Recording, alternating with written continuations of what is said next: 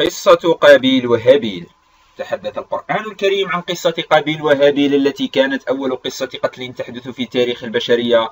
وسنذكر لكم في هذا الفيديو تفاصيل القصة كما وردت في كتابنا العزيز. قال الله تعالى واتلوا عليهم نبأ ابني آدم بالحق إذ قربا قربانا فتقبل من أحدهما ولم يتقبل من الآخر. قال لأقتلنك قال إنما يتقبل الله من المتقين. لئن بسطت إلي يدك لتقتلني, لتقتلني. ما أنا بباسط يدي إليك لأقتلك. إني أخاف الله رب العالمين. إني أريد أن تبوء بإثمي وإثمك فتكون من أصحاب النار وذلك جزاء الظالمين.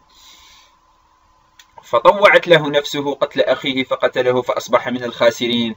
فبعث الله غرابا يبحث في الأرض ليريه كيف يواري سوءة أخيه. قال يا ويلتى أعجزت أن أكون مثل هذا الغراب فأواري سوءة أخي فأصبح من النادمين.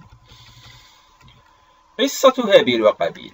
وضعت حواء زوجة سيدنا آدم عليه الصلاة والسلام توأمين هما هابيل وأخته وقابيل وأخته. وكان كل من قابيل وهابيل عاملين فقد كان هابيل من رعاة الأغنام وقابيل من زراع الأرض. تزوج كل من قابيل وهابيل أخت الآخر. وذلك حفاظا على النوع الإنساني. وكان التوأم قابيل أجمل من توأم هابيل. وعندما طلب آدم من أبنائه إتمام ذلك الزواج أبى قابيل ذلك لأن نصيبه هو الفتاة ذات الجمال الأقل. فقد أراد أن يتزوج من توأمه ولم يرضى بتلك القسمة ولا حل. ولحل تلك القضية هدى الله تعالى آدم إلى مخرج ما وهو أن يقدم كل من قابيل وهابيل قربانا إلى الله.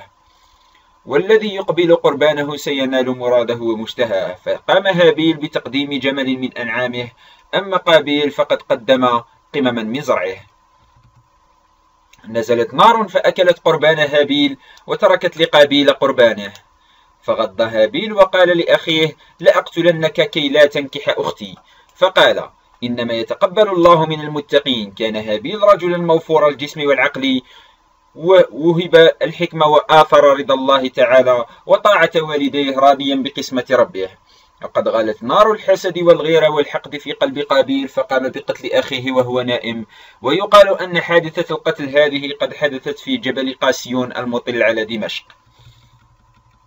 وبهذا يكون هابيل أول من قتل على سطح الأرض ولم يعرف قابيل كيف يواري جثة أخيه وقرر أن يحمله في جراب على ظهره حائرا ومضطربا لا يعلم ما يفعل. إلى أن بعث الله تعالى غرابين يقتتلان فقتل أحد الغرابين نظيره وقام بعمل حفرة في التراب بمنقاره ليواري فيها جثة الغراب الآخر ويخفيها تحت التراب. ومن هذا المشهد تعلم قابيل متأثرا ومستشعرا بشيء, بشيء من الحسرة والندم وقام بحفر حفرة لأخيه دافنا جثته تحت التراب.